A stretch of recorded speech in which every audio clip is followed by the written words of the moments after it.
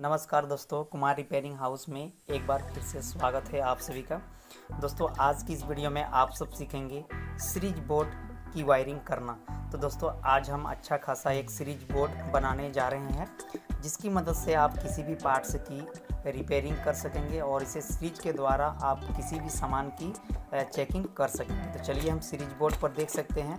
यहाँ हम एक बत्तीस एम्पियर का फाइव पिन सॉकेट लगाए हैं और यहाँ देख सकते हैं एक 6 एम्पियर का फाइव पिन सॉकेट एक टू पिन और तीन स्विच लगे हुए हैं। और यहाँ एक इंडिकेटर था जो कि टूट चुका है। तो इस सब की हमें वायरिंग करनी है।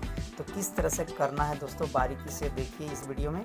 और जानना चाहते हैं तो वीडियो के साथ अंत तक बने रहें। और अगर आप सब नहीं सीखना चाहते तो वीडियो को स्किप करके दूसरी वीडियो पर जा सकते हैं। तो दोस्तों, चलिए सबसे पहले वायरिंग करने के लिए हम जो तरीका आज हम आप सबको बताएँगे, वो तरीका किसी भी यूट्यूबर आप सभी को नहीं बताया होगा। तो चलिए सीखते हैं दोस्तों अच्छा सा सीरीज़ बोर्ड बनाना। तो दोस्तों, इस बोर्ड में हम सबसे पहले एक बत्तीस एम्पियर की फाइव पिन जो कि हम सीरीज़ में डालेंगे, और यहाँ जो एक सिक्स एम्पियर की फाइव पिन है, इसे हम सीरीज़ पर नहीं रखेंगे, ये मैनुअली रहेगा। और यहाँ एक जो स्विच लगी हुई है, इस स्विच के ज़रिए हम सीरीज़ बोर्ड, जब भी हम सीरीज़ फाइव पिन की सीरीज़ हटाएँगे तो हमारी ये बल्ब जलने लगेगी। तो दोस्तों, एक साथ दो काम करके हम आज दिखाएँगे। तो दोस्तों, छोटी सी रिक्वेस्ट है, वीडियो को फुल वॉच कीजिए और अगर हमारी वीडियो आप सबको पसंद आए तो चैनल को सब्सक्राइब कीजिए, नोटिफिकेशन ऑल पर सेट कीजिए, ताकि हम वीडियो जब भी अपलोड करें आपके पास सबसे पहले पहुँच जाए। तो दोस्तों, इस सीरीज़ बोर्ड को बनाने के लिए हमें कुछ मिनट लग सकते हैं। तो दोस्तों, शांति से और अच्छी से वीडियो को लास्ट तक देखिए। तो चलिए, हम सीरीज़ बोर्ड बनाने की जो विधि है, वो आप सबको हम बताते हैं। तो दोस्तों, अस्थिर से वीडियो को देखते रहें। तो सबसे पहले हम सीरीज़ बोर्ड बनाने की जो तरीका है, वो हम शुरू कर रहे हैं। यहाँ देख सकते हैं, दो हमारे पास स्विच लगी हुई है, जो कि सिक्स सिक्स एम्पियर की ये स्विच है। तो दोनों स्विच को हम इस तरह से पैरल में लगाएँगे पहले, और दोनों एक स्विच से हम इसकी कनेक्शन करेंगे, और एक स्विच से हम यहाँ टू पिन लगी हुई है इसकी कनेक्शन करेंगे। और यहाँ जो स्विच लगी हुई है, ये सीरीज़ हटाने के लिए ये इसको हम कनेक्शन करेंगे। तो चलिए हम देखते हैं किस तरह से करना है।